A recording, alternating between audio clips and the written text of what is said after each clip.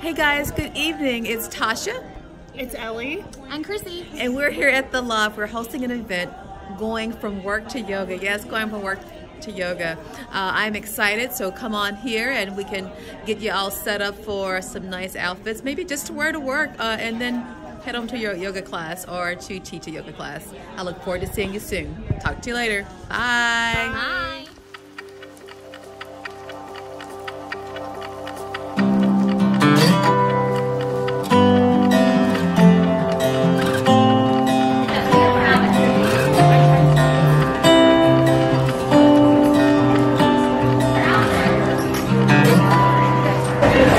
Guys, I am here at Ann Taylor Loft here in Columbia, and our theme tonight is going from work to yoga or yoga to work.